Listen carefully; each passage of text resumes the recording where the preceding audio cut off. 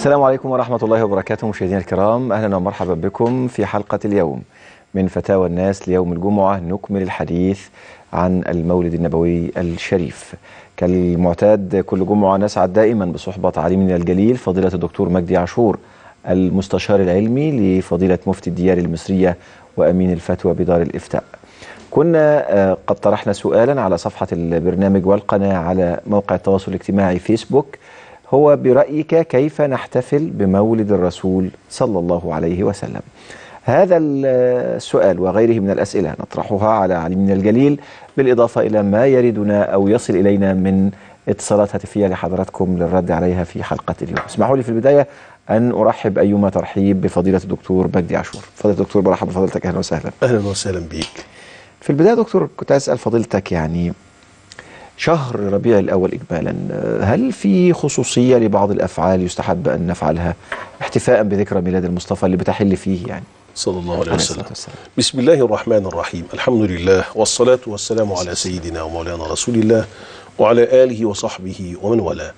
أستسمح حضرتك الأول إن إحنا نتقدم بخالص العزاء لأنفسنا نعم. وللشعب المصري وللحكومة المصرية وللدولة المصرية جميعا فيما حدث اليوم من حادث غدر في آه، آه، بجانب مسجد السلام في الهرم وأبنائنا وإخواننا. الذين استشهدوا من الشرطة المصرية الشجاعة آه، التي تدافع عن الأمن والأمان في هذا البلد بالتعاون مع القوات المسلحة المصرية نسأل الله عز وجل أن يتقبلهم في الشهداء لأنهم قد قتلوا غدرا والذي يقتل غدرا فهو شهيد كما قال صلى الله عليه وسلم والذي يقتل ظلما مثل ما فعل اليوم فهم شهداء تقبلهم الله عز وجل آه، في الشهداء مع النبيين والصديقين. والصالحين جميعا يا رب العالمين.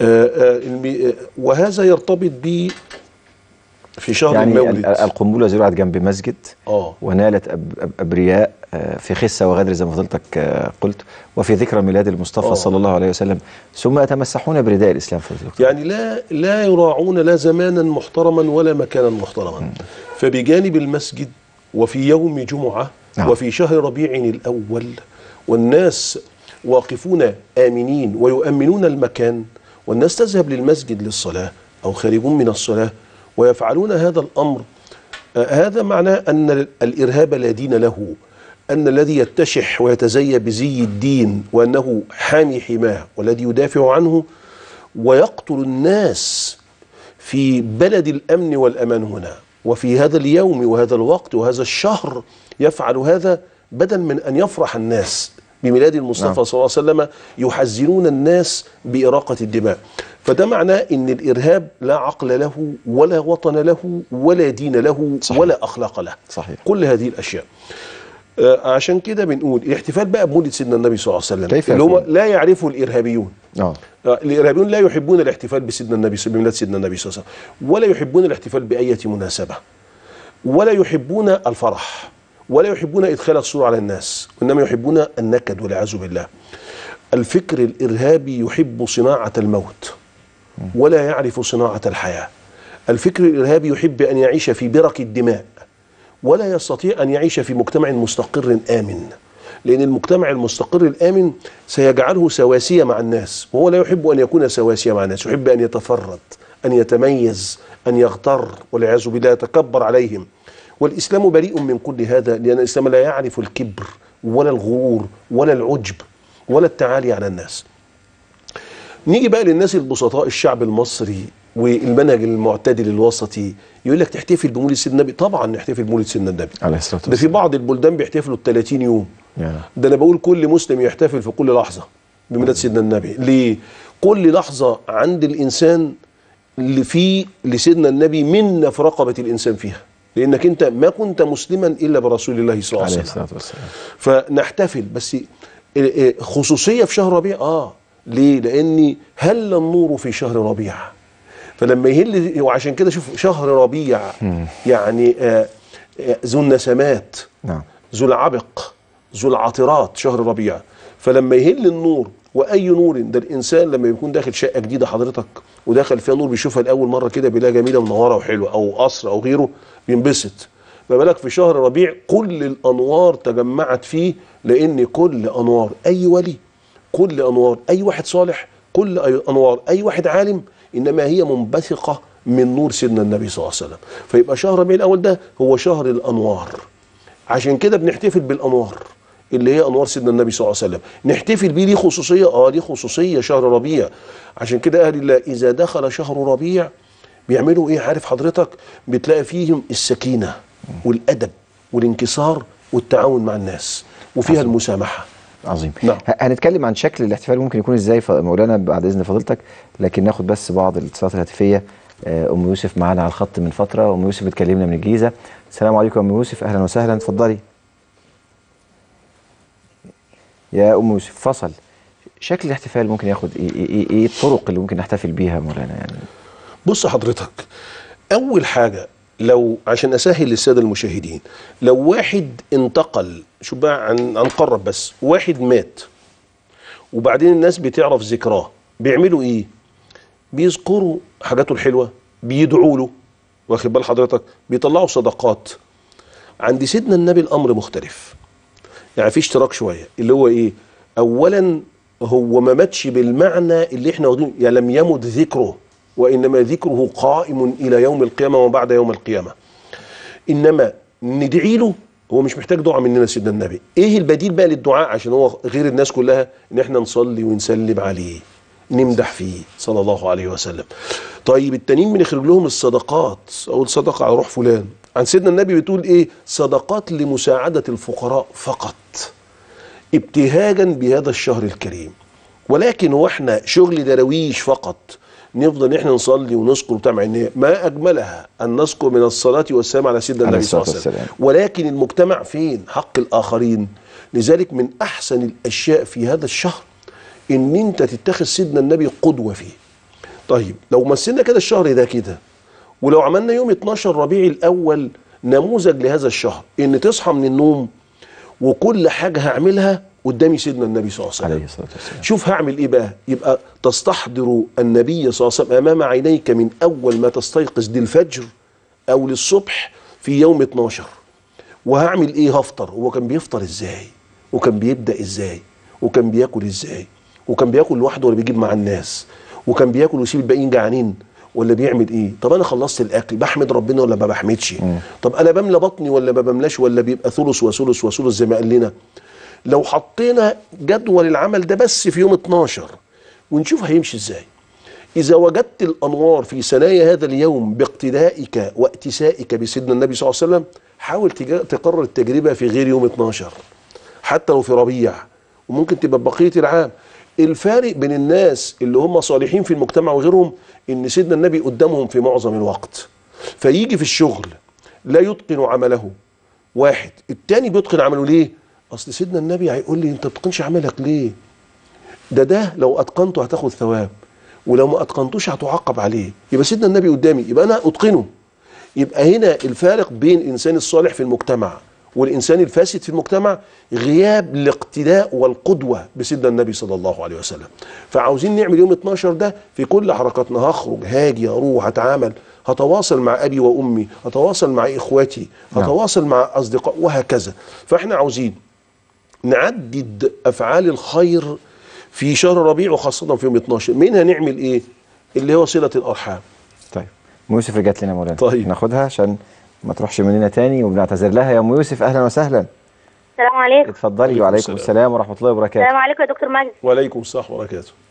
من فضلك يا دكتور مجدي. عندي سؤال بس معلش استحملني شوية. اتفضلي يا أم يوسف. آه، بص حضرتك يا دكتور مجدي أنا كان بيت وكده. اهوت كان يعني إيه كنا عايشين فيه كلنا أنا وإخواتي. إحنا بنتين وأربع صبيان. في آه، ولدين من إخواتي الصبيان الكبار كانوا هم الوحيدين اللي كانوا متجوزين في البيت.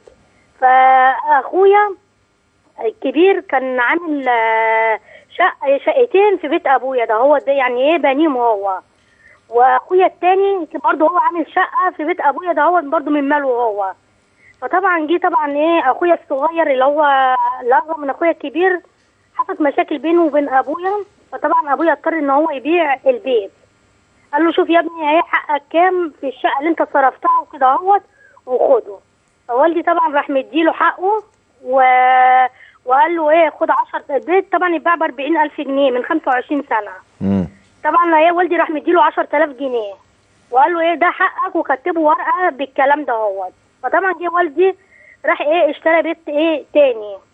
فجه أخويا تاني اللي هو الكبير اللي وضب شقتين راح موضب في البيت التاني اللي هو إيه اشترى البيت التاني راح موضب برضو إيه شقة. فطبعا راحوا بعد شوية راحوا بايعين البيت إيه دوت وراحوا قالوا ما ارتحناش فيه وراحوا خدوا حتة أرض. حتة الأرض دي طبعا طلعت غالية فوالدي إيه راح إيه قسط إيه 10000 جنيه عليه من إيه من قيمة الأرض. طبعا أخويا برضو التاني بعد ما خلص كده هو راح إيه بعدها بمراته عشان يبني لنفسه شقة في نفس حتة إيه الأرض ده إيه دلوقتي أنا والدي توفى. دلوقتي لما والدي توفى وكده أهوت آه، آه، يعني في يعني برضو مشاكل في البيت فأخواتي عايزين إيه يبيعوا بيتهم. البيت ده أهوت. أخويا دلوقتي الكبير اللي وضب كذا شقة بيقول أنا لو البيت دوت اتباع أنا ليا دهب مراتي بعته. هاخد حق دهب مراتي زيادة عن إيه حق الشرعي ده السؤال هل دلوقتي السؤال الأولاني يا دكتور مجدي هل هو مثلا ليه آه حق فعلا زيادة اللي هو دهب مراته اللي حاطه 50 جرام دهب من 25 ده سنة دي فعلا ياخدهم ولو هياخدهم هياخدهم بسعر الجرامات اللي هي من 25 سنة ولا من سعر الجرامات اللي هي الحالية السؤال. الثاني بقى يا دكتور مجدي أخويا اللي هو خد حقه هل مثلا ليه في بيت والدي اللي هو حاليا هو من حقنا إحنا بس. من دلوقتي اللي في اخواتي تانيين صبيان اتجوزوا بس كل واحد عمل شقته من ماله. يعني هو اللي اسسها من الألف للياء. ما حدش عملها له. قال دلوقتي أخويا اللي هو خد حقه في البيت الأولاني ليه في مرات والدي؟ شكرا جزيلا يا يا أم يوسف. شكرا لحضرتك. أم محمد من الجيزة؟ اتفضلي يا أم محمد. فضلك الله إزيك يا دكتور مجدي؟ أهلا وسهلا فندم. أنا لو سمحت يا دكتور مجدي ولو سمحت يا أستاذ إنكم أنتم ما تقطعوش عليا الا لما أقول لكم على اللي أنا اتفضلي يا محمد. بتوسل إليكم بربنا بكل المسلمين. أنا هضيع أنا واولادي عشان 70000 جنيه. والله والله لو مش مصدقيني تعالى أوصلكم للراجل اللي له 70000 جنيه. واخد عليا وصل أمانة طيب. على الأبيض على الأبيض وحاطط فيه 200000 وأنا هضيع والله قسما بعزه جلاله الله. أنا واولادي في الشارع وعلشان الراجل دي ده خرجت من شقتي أنا وعيالي وجوزي. وجوزي عامل عملية في رجله. والله بال... والله وبحلف بالله. والدقيقة اللي أنا فيها. إن أنا 70000 جنيه للراجل وهيملى الوصل الأمانة ب 200000 والست قالت لي ده هيملى ب 200000 طيب يا ام محمد حاضر. أتوسل إليكم بربنا جنبي. خليكي معانا بعد إذن حضرتك آه، زملائنا بس هياخدوا تليفون حضرتك وبياناتك. والأمر معروض الحقيقة على آه، مشاهدينا الكرام وأصحاب القلوب الرحيمة. إذا كان هناك من يريد أن يفرج كرب مسلم يعني فيفرج الله عنه يوم القيامة. آه، أم إيه منين اتفضلي يا أم من إيه منيا السلام عليكم. وعليكم السلام. اتفضلي يا أم إيه يجوز طلاق الحائض ولا لا يجوز؟ يعني يقع. هل يقع طلاق الحائض؟ حاضر. في سؤال تاني؟ ممكن اقفل واسمع من التلفزيون؟ نعم يا فندم. اقفل واسمع من التلفزيون؟ لا. اسمعي آه اسمعي حضرتك واسمعينا بقى بعد كده من التلفزيون. هنجاوب حضرتك يا ام إيه حاضر. معانا تليفونات تاني يا فندم؟ طيب. آه نجيب أم يوسف وأم محمد وأم إيه يا دكتور بعد إذن فضلتك طيب السيدة أم يوسف بقول لها آه، أخوها الكبير آه، كل بي- حتة بياخدوها أو بيت بيبني على حسابه. البنى على حسابه ده لأن الأرض بتاعت والد حضرتك ده على حسابه هو اللي قاعد فيه السكن. فلازم تعوضوه مكان هذا السكن ويتحسب ويتقدر بكام؟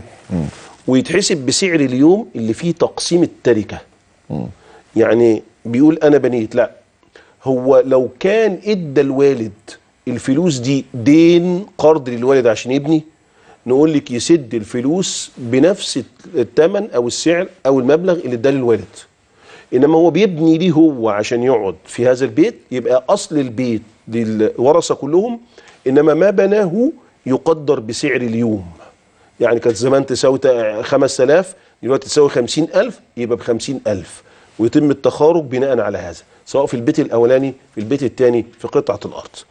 آه، أخو حضرتك اللي خد حقه خد حقه اللي هو هل والدك اداله حقه؟ بنى الشقة اللي هو بناها فيبقى ليه في الأرض.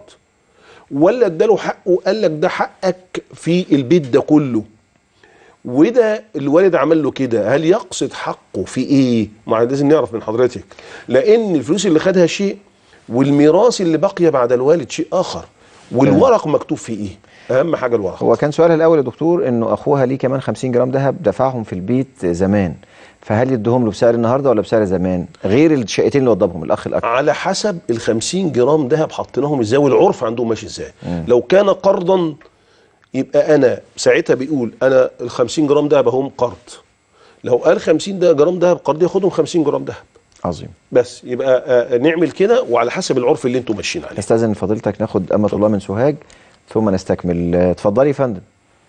السلام عليكم يا فندم. وعليكم السلام ورحمة الله وبركاته. أهلا وسهلا. كل سنة وحضراتكم طيبين. وحضرتك وأهل سوهاج وكل مصر بخير. اللهم آمين يا رب العالمين. كنت حابة أسأل فضيلة الدكتور آه، المفروض نقوم بيها. في يوم مولده صلى الله عليه وسلم يكون يعني نقتدي به ويكون فرحان بينا فيها في هذا اليوم يعني. آه، حاجة كده فعلا غير الصلاة على النبي عليه الصلاة والسلام والصدقات. يعني بر في يعني حاجة كده فضيلة الدكتور يقولها لنا تكون جامعة لكل حاجة بإذن الله. شكرا يا أختي الكريمة. أختنا محاسن من الأقصر اتفضلي اتفضلي أيوه يا فندم. السلام عليكم. وعليكم السلام ورحمة الله طيبين. وبركاته. وحضرتك بألف صحة وسلامة يا فندم. حضرتك أنا عندي حضرتك ثلاث أسئلة. عندي حضرتك ثلاث أسئلة يعني. السؤال حضرتك الصوت وحش قوي. نرجو إن حضرتك تحاولي تتصلي بينا تاني من تليفون أرضي بعد إذنك آه، حاجة محاسن. وإحنا في انتظار سؤال آه، أو أسئلة حضرتك الثلاثه إن شاء الله. فاصل سريع نعود بعده لفضيلة الدكتور مجدي عاشور للتفضل بالرد على الأسئلة التي لدينا واستقبال مجموعة أخرى إن شاء الله. ابقوا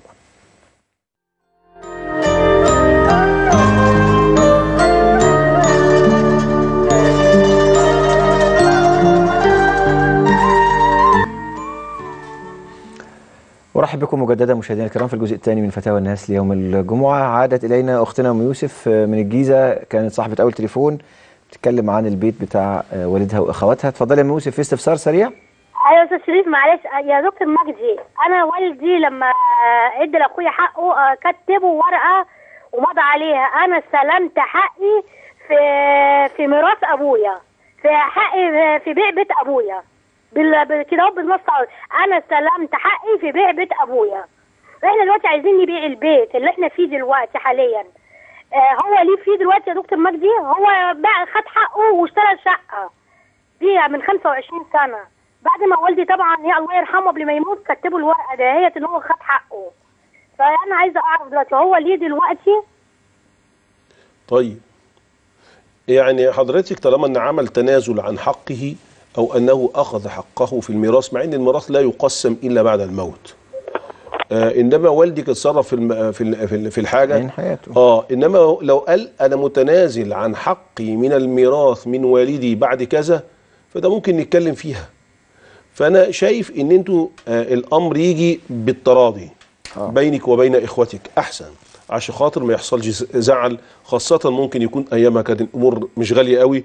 دلوقتي هو شاف إن أغلى شوية ممكن تتباع فالنفوس بتتحرك. فبقول لحضرتك حتى ولو كان تنازل عن الميراث الذي لم يدخل في ملكه أصلا والده كان موجود وهو مش ميراث أصلا آه، ولكن هو تنازل. فنقعد معاه ونتفاهموا بالتراضي أحسن بينكم وبين بعضكم.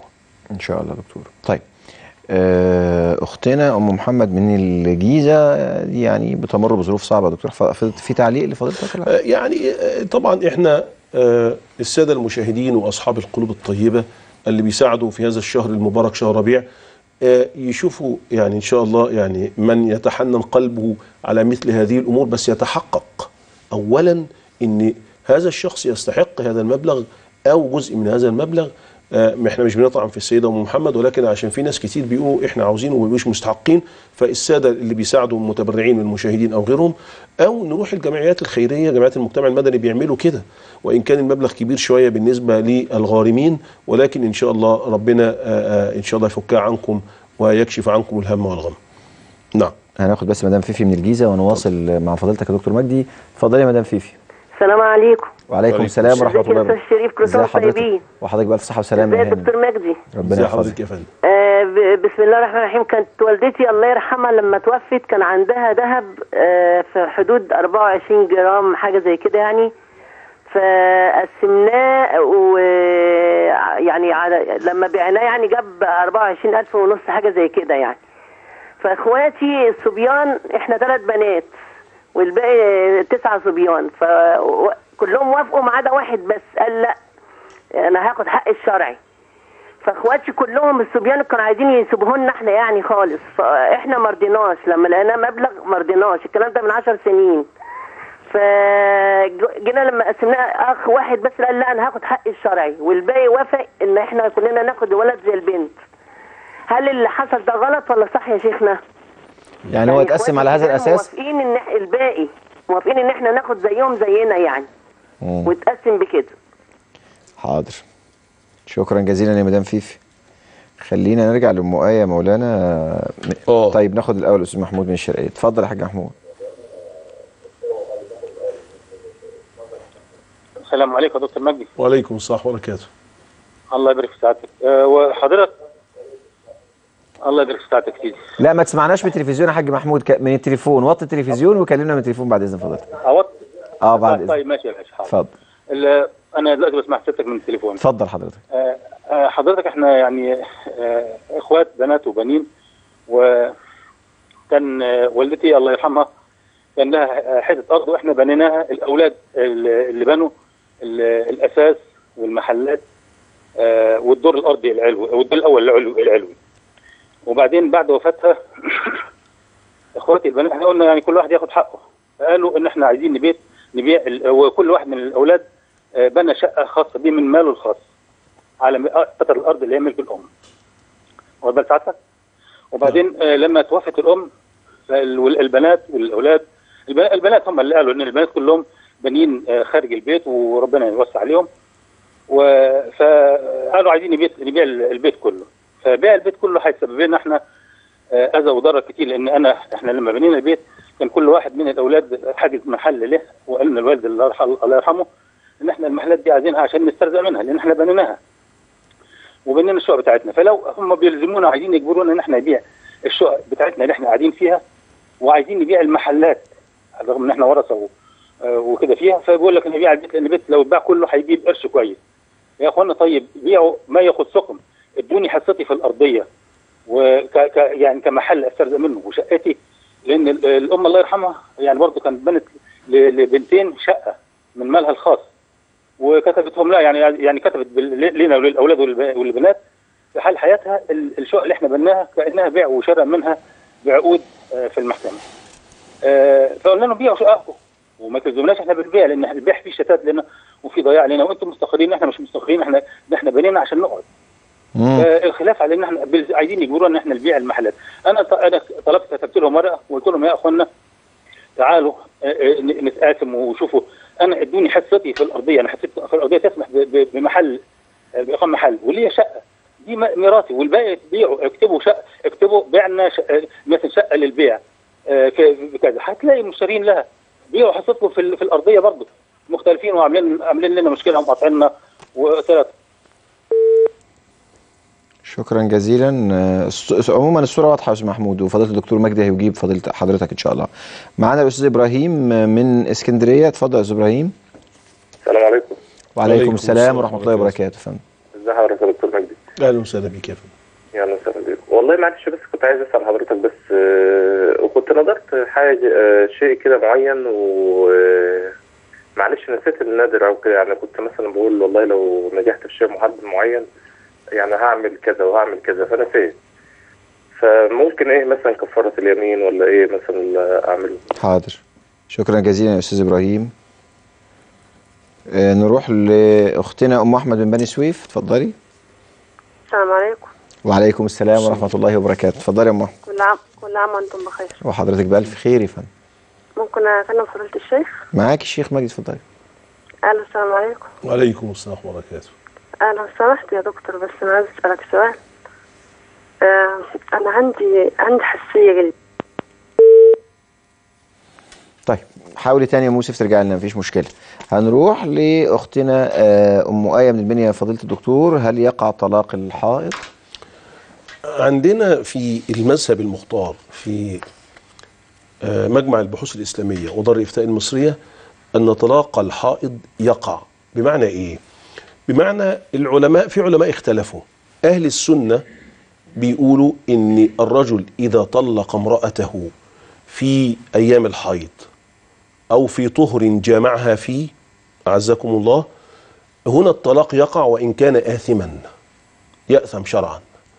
بيسموه طلاق بدعي طلاق الحائض يعني ارتكبت بدعة ولكنه يقع. كونه إن هو يأسم فاعله شيء ويبقى عليه حرمانية وإن هو يقع شيء آخر. في مذهب غير أهل السنة بيقول لا الطلاق البدعي ده يقع طلاق الحائض يقع. إحنا بنقول لا مذهب أهل السنة والجماعة عندنا أن الطلاق طلاق الحائض يعني طلاق المرأة في أيام حيضها يحسب من الطلاق. فليحذر كل إنسان فيما يتكلم المذهب. الثاني ده بيقول لا يقع المذهب الآخر وهو مذهب ممكن الشيعة الإمامية بيقولوا إن الطلاق البدعي آه لا يقع. لا يقع. نعم. لكن أهل السنة والجماعة على اللي عليه الطلاق. الأزهر الشريف وكله لا يقول الطلاق البدعي آه آه يقع وإن كان يأثم فاعله بمعنى يرتكب إثم. نعم. طيب أمة الله من سوهاج يا مولانا. أهم الفضائل اللي بتقو... يعني اللي يستحسن الإنسان يقوم بها في يوم ميلاد المصطفى وفي الشهر الكريم يعني. إحنا حضرتك لو عاوزة هي عاوزة تميز يعني. نعمل إيه؟ التميز بيكون على قدر التعب. فلو حضرتك بتعملي في يوم بصلي على سيدنا النبي ألف مرة صلى الله عليه وسلم أعمل عشرة آلاف مرة في تميز. لو أنا بطلع في اليوم في الأسبوع عشرة جنيه أروح مطلع عشرين جنيه أكتر شوية. لو أنا بقرأ ورد صغير من القرآن أزوده. لو أنا أزود من الطاعات اللي بعملها لو أنا بكلم والدتي في التليفون مرة كل يوم بسأل عليها وأنا متزوجة أكلمها النهارده ثلاث مرات أو أروح لها يبقى أحسن. لو أنا في جنبي واحد واحدة أرملة محتاجة أو واحدة مخصمها ومش بكلمها ومش عاوز أكلمها نفسي مش جايباني أكلمها أو واحد يعني أعمل إيه النهارده؟ لا ده أنا هاجي على نفسي النهارده وأروح أكلمه. أعمل الحاجة اللي نفسي ما كانتش موافقة عليها أصلا. أو مش متحملها قوي. أروح عاملاها كده حبا في سيدنا النبي صلى الله عليه وسلم لأنه أمر بالتسامح وأمر بالت- وأمر بالتراضي. فإحنا نعمل كده. شفت أنا قلت حاجات كتير. إخراج صدقات وإطعام طعام وكثره ذكر آه، بعكس الأيام ال- العادية وإن إحنا نعمل حاجات المخالفة للنفس. دي اللي فيها تميز أكتر. أهم حاجة إن إحنا نفرح بسيدنا النبي صلى الله عليه وسلم. لأن سيدنا النبي ورد في بعض الآثار يقول إيه؟ من فرح بنا فرحنا به. اللي يفرح بسيدنا النبي سيدنا النبي يفرح بيه واللي يفرح بيه سيدنا النبي يبقى خلاص. ده كده بقى آه، إن شاء الله بإذن الله يعني ينال الشفاعة. نسأل الله عز وجل أن تغمرنا شفاعة سيدنا رسول الله نحن والسادة المشاهدون جميعا يا رب. عندنا في حد قبل مدام فيفي من الجيزة يا دكتور؟ آه لا. أخت محاسن من الأسرة ما اتصلت. ما- معايا. آه قطع طيب. مدام فيفي آه، هم قسموا ال- قيمة آه، سعر الذهب اللي اتباع اللي ورثوه عن آه، والدتهم بالتساوي. رجالا ونساء بالتساوي. بالتساوي يعني. آه، آه. آه ال- الميراث. الأصل فيه أنه حكم الله. للذكر مثل حظ الأنثيين إذا كان في مرتبة واحدة. طيب جه الإخوات والبنات إخوات صبان يعني بيحبوا إخواتهم البنات فقالوا نقسم بالتساوي. ماشي ده تنازل.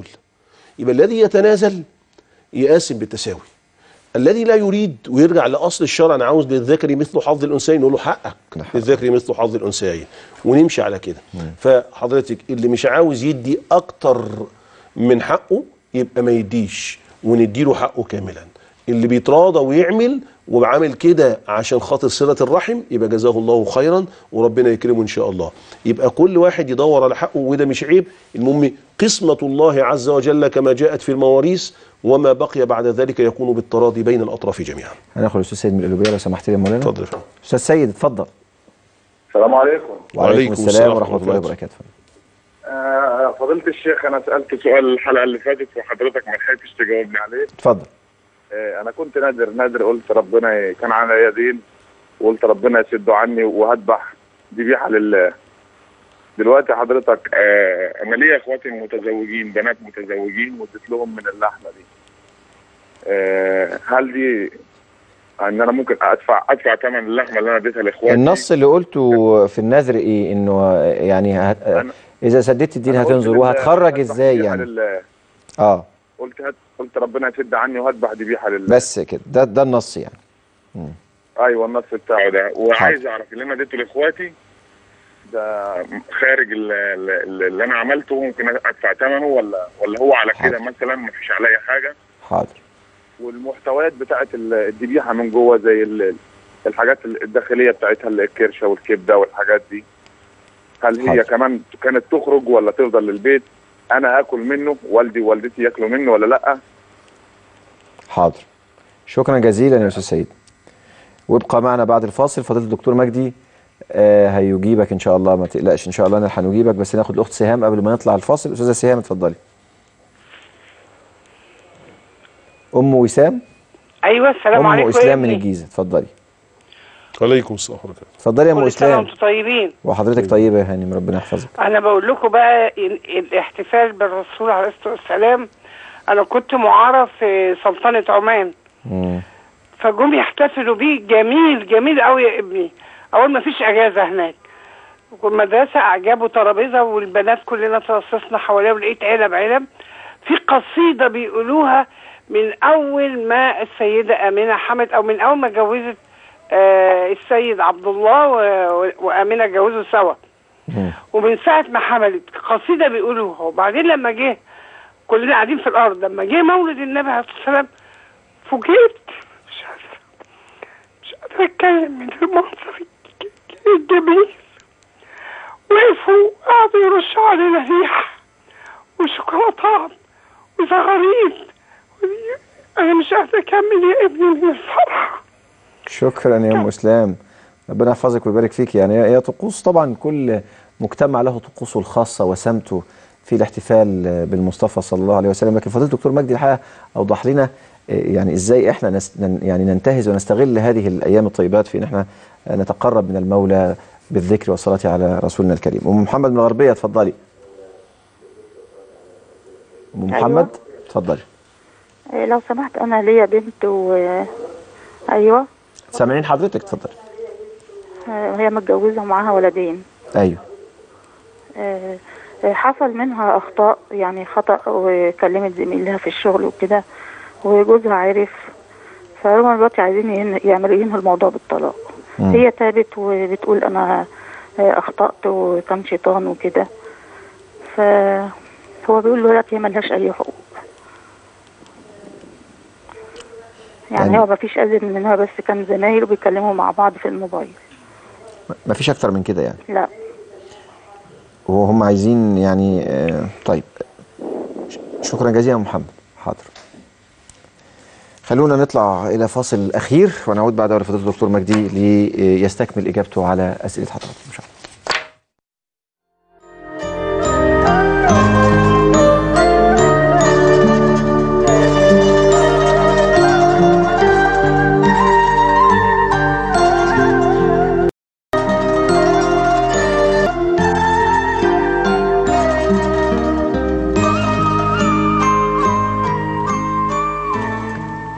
رحب بحضراتكم مجددا في الجزء الثالث والأخير من فتاوى الناس ليوم الجمعة. إن شاء الله فضيلة الدكتور مجدي يجيب على كل الأسئلة ونستقبل أيضا أسئلة أخرى من حضراتكم.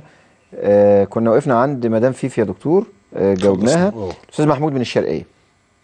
آه فاكر حضرتك البيت؟ آه بيقول البيت و هم أخواته البنات مصرين على بيع البيت علشان هيجيب إحنا مبلغ عاوزين. نقول لأخواتهم البنات يعني لا ضرر ولا ضرار. طب هم ساكنين في البيت في الشقق وهم اللي بنوها. هيبيعوا البيت ويطلعوا يقعدوا فين؟ فعاوزين يعمل عملية تخارج. فأنا بنصح الأستاذ محمود وإخواته يجوا لنا في دار الإفتاء المصرية. آه. عندنا لجنة اسمها لجنة فض المنازعات. هذه اللجنة بتجلس فيها جميع الأطراف وبيحصل تراضي وتوافق ويكتبوا كده فيما بينهم يعني. والشيخ يكون قاعد معاهم يقرب المسافات بينهم. لأن الأمر ده ما ينفعش فيه التقاضي متعب خاصة بين الإخوة. فعاوزين التراضي. وعاوزين برضو نراعي الواقع ولا نضرش حد. أنا هستفيد ده حقهم البنات. ولكن طب إحنا ساكنين نروح فين؟ فده يحتاج إلى إن إحنا نجلس سويا. فأطلب من حضرتك إن أنت تتصل بنا في دار الإفتاء المصرية وإن شاء الله في لجنة فض المنازعات. آه وإحنا آه إن شاء الله نحدد لك موعد وتأتي أنت وأخواتك البنات كلهم وأخواتك الصبيان وإن شاء الله يتحل المشكلة ما يبقاش فيها حاجة بإذن الله. طيب أستاذ إبراهيم من اسكندرية. آه. نذر ونسي آه، إيه إيه النذر اللي نذره يعني؟ آه، في كفارة؟ يا دكتور بس الفكرة آه يعني آه هو نذر وقال نذرته مش فاكر قال نذر إيه؟ فلو كان نذر ولم يذكر ما هو النذر تماما فعليه إن هو يخرج كفارة يمين إطعام عشرة مساكين. بس لو كان ناسي بالفعل مش عارف.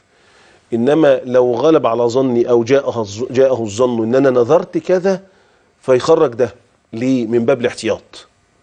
إنما مش فاكر خالص اتمسحت من الذاكرة. أنا قلت نذرت بس ما أعرفش قلت إيه. خالص. هل انت حضرتك معتاد في مثل هذه الأمور؟ ما كل حاجة تقف عاوزة تمشي. بنذر يعني بقول حاجة معينة بندر نذر معين عامل زيه كده. لو كنت أنا معتاد على كده. مش معتاد على كده يبقى أطعم عشرة مساكين. نعم. سؤال قريب. الأخ سيد من القليوبيه نذر وذبح وخرج بس إدى لإخواته المتجوزين من الذبح. هو كان بيقول يعني آه، هيخرج لله هذا النذر. ما هو النذر بيخرج لله يعني للفقراء. لو كان إخوات حضرتك محتاجين والمحتاجين دي مبينة يعني إيه؟ يعني واحد أخوه موظف وياخد 1500 جنيه وعنده أربع عيال ده محتاج نديله من النذر لأنه فقير. فنديله من النذر مش لازم فقير يعني مش لاقي خالص طبعا ده أولى إنما التاني برضه فقير. فنديله ما فيهاش حاجة. إنما وال- والكبدة والفش حضرتك بتقول كبدة والفش والحاجات دي كلها تخرج كلها للفقراء والمساكين. طب لو ما خرجتش وكلها هو والأسرة والوالد والوالدة؟ يبقى ما أكل منه على المذهب المختار يخرجه صدقات للفقراء والمساكين. تشوفوا بكام كده؟ أنت عملت تخرجه قده للفقراء والمساكين. إذا عظيم. أكلت لنفسك أو أعطيت أحدا غير محتاج. عظيم. يقدر قيمته ويخرجه صدقة يعني. نعم. آه، أختنا هناء من بني سويف اتفضلي. يا أستاذة هناء فصل طيب مدام فاطمة من الجيزة. ألو السلام عليكم. اتفضلي يا حاجة فاطمة جزاكم الله خيرا على البرنامج ده وكل سنة. وأنتم طيبين والأمة الاسلاميه. طيبة بمولد آه، حبيبنا رسول الله طيبة. صلى الله عليه وسلم. سؤالين سريع وطلب لو سمحت الدكتور مجدي. بعد إذن حضرتك يا دكتور مجدي النذر أنا تقريبا كنت سمعته النذر كله يطلع لله لو مثلا بنتي قالت أنا لو جبت ولد هذبح خروف. كله يطلع لله ما ينفعش هي ولا آه، والدتها ولا حد من أهل البيت يأكل ولا لأ؟ أول سؤال. تاني سؤال لو سمحت حضرتك أو الطلب اللي أنا فاكراه دلوقتي الطلب آه، آه، أنا السؤالين دول كنت سألتهم. لما يعني طلب خاص لما نسأل أسئلة لو سمحت إنه أحيانا ما شاء الله الأسئلة بتبقى كتيرة فبيؤجل الإجابة عليها للمرة الجاية. المشكلة إن إحنا لما باجي يبقى عايزة سؤال ببقى قاعدة مخصوص للحلقة عشان أطلب وأسمع الرد والإجابة في نفس الوقت. فإني أبقى أقدر أستنى الحلقة اللي وراها ولا اللي بعدها عشان أسمعها وغالبا اللي وراها ده ممكن يبقى بيصادف ما أقدرش أسمعها. فرجاء لو سمحت لو وقت البرنامج ما يكفيش بلاش ناخد مكالمات على أساس إن الواحد لما بيتصل بيبقى نفسه يسمع حاضر. الإجابة في ساعتها حاضر. ده ده ده الطلب الثاني لو ممكن أو مسموح لا. السؤال الثاني بقى أو ده الطلب الأولاني السؤال الثاني سريعا هل فلوس المستشفيات زي مستشفى أبو الريش ده اللي كنت سألته أو مستشفى 57 أو أي مستشفيات هل الفلوس إني أدفعها لازم أدفعها كاش تطلع كنوع من مصارف الزكاة ولا ممكن أنا كنوع من أبقى مطمنة أكتر أو مجهود أكتر أبذله عشان آخد ثواب بروح أنا بنفسي بالمبلغ الفلوس الزكاة ده أشتري أدوية أو أشتري دم هم محتاجينه. فهل ينفع أنزل أشتري الدم وأوديها للمستشفى؟ الأدوية وال- والدم من الصيدليات وأوديها في المستشفى. شكراً. ولا لازم أدفعها عيني ولا نقدي؟ يعني عشان حضرتك مطمئنه فلوس مادية. شكرا شكرا جزاكم الله شكرا كل خير مدام هناء من بني سويف رجعت لنا تاني. اتفضلي يا استاذه هناء. عليكم السلام. ألو. لو سمحت بعد الشيخ ممكن اسالك سؤال ده, ده كده بعد إذن حضرتك؟ اتفضلي. السؤال الأول آه، معايا واحدة في الشغل متجوزة بقالها جوزها بقالها أكتر من 30 سنة وجوزت ولادها وكل حاجة وجوزها إيه عايز يتجوز عليها وعملت مع جوزها حاجات كتير قوي وبتقول أنا حلفت هو حلف على النص أنا حلفت على المصحف لو اتجوزت غيري هموتك. هو حلف على المصحف قال أنا مش هتجوز غيرك. بقول لك حلفان المصحف ده معناته إيش؟ يعني أنت تعمل إيه يعني في حلفان المصحف اللي هي جالته؟ حاضر. السؤال التاني حضرتك آه، معايا واحدة جارتي في الشغل. حصلت مشاكل بينا وبعدها بس أنا ما بكلمهاش. يعني مثلا هي بتقول السلام عليكم وأرد عليها السلام بس. بس ما خلص خلصتش بيها ولا أقول لها إزيك ولا عاملة حاجة. أنا ضغط عليا ذنب عليا ذنب جامد يعني إن أنا عملت كده. أنا مختصراها مش عايزة مشاكل من ناحية ان هي بتنقل الكلام وكده يعني. بس ما فيش قطيعة بتسلموا على بعض يعني. آه السلام عليكم بقول ارد عليها السلام وخلاص بس ما بخلطش نفسي بيها. اتفضلي اتفضلي. السؤال الثالث حضرتك إحنا في أيام مفترجه دلوقتي عايزه إيه، ممكن نصوم يوم 12 و13 و14 و15 ولا ما ينفعش؟ حاضر. أيام اجازه الرسول صلى الله عليه وسلم يعني في أيام المفترجه دلوقتي. شكرا جزيلا يا مدام هناء تابعين هرجع تاني مع فضيلة الدكتور مجدي انتهينا من الأستاذ سيد من القلوبيه عندنا أم أسلام الجيزة يا دكتور آه يعني هي كانت بتنقل طقوس الاحتفالات في وكانت يعني مرهفة لا هو الحس آه في يعني أنا أشكرها على رهافة حسها وجميل قوي الواحد يبقى مرهف بالحس كده بحب سيدنا النبي صلى الله عليه وسلم وده يدل على الحب لأن الحب أوله دموع. وانكسار. فإخواننا في عمان الدولة المباركة الطيبة دول لهم احتفالات لأنهم محبين لسيدنا النبي صلى الله عليه وسلم وبيتعاملوا بطريقة صحيحة جميلة إن هم يقولوا القصائد اللي فيها مدح وثناء على سيدنا النبي صلى الله عليه وسلم. وده في عمان جميل آه، إخواننا هناك. وأيضا بيحصل في دول كتير ومنها دول المغرب العربي تونس والجزائر والمغرب بيعملوا كده. أسيادنا العلماء كانوا بيقولوا إيه سيدنا الشيخ عبد الله بن الصديق الغماري الشيخ يقول ما كان كتابان يقرآن دوما وطارا في الخافقين مثل البردة للإمام البصيري اللي هو قروها في عمان أو كتاب دلائل الخيرات في الصلاة والسلام على خير البريات لسيدنا الإمام الجزولي أو الشيخ الجزولي ده صيغة للصلاة والسلام على سيدنا النبي والبردة طبعا كلنا عارفين الإمام البصيري مدح لسيدنا النبي وده أظن اللي بيعملوه في نعم. بلدنا الشقيق عمان بيقرأوا وأول ما يوصلوا لذكر المولد آه، آه، على طول يعني أبان مولده عن طيب عنصره. يقوموا يقفوا إجلالا لسيدنا النبي صلى الله عليه وسلم. تمام. زي ما حد داخل كده. فنعمل كده ونقرأ البردة ونقرأ في دلائل الخيرات في قصة الصلاة والسلام على خير البريات. أم محمد من الغربيه آه، بنتها يعني آه، زوجها عاوز يطلقها ومش عاوز يديها حقوقها لأنه يعني شاف عليها خطأ بتتواصل مع زميل ليها عبر التليفون وكده. لا الخطأ عبر التليفون الحقوق آه، غير إن الخطأ اللي حصل. الحقوق بمعنى إيه؟ النفقة. طالما إن هي زوجة يبقى واجب على الزوج النفقة. أخطأت أعلمها. والخطأ إذا كان كبيرا والعياذ بالله يعني أخطأت كده وأنت مش عاوزها خلاص تطلقها وينقطع النفقة بعد الطلاق بعد انتهاء العدة. إنما طالما هي في عصمة الرجل فواجب عليه الإنفاق على هذه المرأة ونعلمها بقى. ما هو ممكن الراجل برضه يتكلم ويعمل على التليفون فيسامحها والمسامح كريم واللي ما بتعملش كده خاصة إن والدتها باين عليها إن هي عنفتها أسرة طيبة يعني، وإن آه. هي أسرة طيبة. وبعدين يعني ومن ذا الذي ترضى سجاياه كلها؟ كفى المرء نبلا أن تعد معايبه. واحد أخطأ خطأ خطأين طالما مش كبير وتتحمله خلاص. يبقى يبقى النفقة شيء وإن هي تعمل والحقوق الشرعية. المترتبة يعني طبعاً. نفقه الأولاد بعد كده لا قدر الله حصل طلاق دي حقوق ملهاش علاقة بالأسباب الطلاق ثابتة يعني. أسباب الطلاق ملهاش دعوة ما فعلته من أخطاء لا شأن تمام. لا- لا أحد فيها اختنا فاطمة من الجيزة آه الندر النذر يعني تطلعوا كله آه. وبنتها؟ بتطلعوا تو إحنا قلنا النذر تخرجه للفقراء حتى ولو كان هذا الفقير أخي فبدله الفقير لو أخويا فقير أديله أو أختي مش فقير ما اداش ودي للفقراء. طيب آه السؤال الثاني آه هي لها رجاء طبعا هننظر فيه. فلوس المستشفيات يا دكتور فلوس- هل هي تروح تدي الزكاة نقدي ولا تشتري يعني مستلزمات وتقدمها؟ والله هنا أنا بقول في مثل هذه الأمور بذهب لمدير المستشفى أو الجهة المعنية بقول له ليه؟ لانهم أعرف بالحاجات اللي محتاجينها. وأعرف هنا محتاجين قد إيه وهنا. طب ما ممكن حضرتك تاخدي تجيبي دم مثلا أو تجيبي أدوية وهم محتاجين دم. فاحنا عاوزين الدم فبروح هو عارف الأولويات لإيه؟ لأن المرضى محتاجين دم أكتر. فبروح بس إيه؟ بروح ويكونوا هم اللي عارفين وعندهم قاعدة بيانات ومحتاجين إيه أكتر وكل الحاجات دي كلها. وأنت مروحك لدفع هذا كأنك رايحه تشتري من الصيدلية. يبقى كأنك رحت بنفسك اتيتي الزكاة أعطيت الزكاة وذهبت إلى الفقير. ذهابك للمستشفى ده هو ذهابك للفقير. تماما. ولكن هم عشان عندهم قاعدة البيانات وده الأصل فيها عندهم قاعدة بيانات عارفين إيه الاحتياج فهم اللي يعرفوا يجيبوا إيه تماما. المهم تدي في الجهة المستحقة المهم تدي في الجهة الآمنة وتاخدي ايصال بهذا.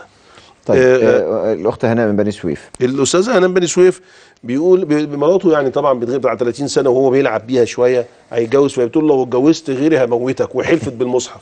لا إن شاء الله مش هتموته ولا حاجة والمصحف مش هيقع ومفيش أي حاجة. الح- الحلف بالمصحف بيقع. بس إحنا بنقول يعني لو اتجوز غيرها هتموته يعني عشان تمشي على المصحف وتقتل؟ يبقى ما ينفعش. يعني من حلف أن يعصي الله فلا يعصيه وليكفر عن حلفه. فما يكونش كده إن شاء الله ما يكونش فيه جواز تاني ولا حاجة وما يكونش فيه أي حاجة مضرة بإذن الله. طيب. وطبعا برد السلام على صاحبتي. طالما إن الصحبه بيجي منها ضرر أجنبها. بس أرد عليها السلام واتعامل في أضيق الحدود الحدود. وبالحدود اللي اتعلمها ان أنا كم أنا أتخلق بأخلاق سيدنا النبي صلى الله عليه وسلم. تصوم؟ الصيام 12 و13 و14 و15 لا. المستحب الأحسن والأولى نصوم 13 و14 و15 دي اللي وردت في نصوص. يوم 12 نخليه فرح كده وقلنا يعني الناس كلها تاكل فيه آه، تطعم الطعام ونوسع على الأولاد والأهل الحلويات بس ما نكترش عشان السكر يعني ما يبقاش في أزمة ولا حاجة بس ناكل حلويات عشان نحلي الفم الذي يكثر والقلب الذي يحب سيدنا النبي صلى عليه الله عليه والسلام. وسلم. فده شيء مهم قوي. آه، هي بس قالت حضرتك السؤال والجواب عشان ده شيء مهم. إحنا حضرتك عندك حق.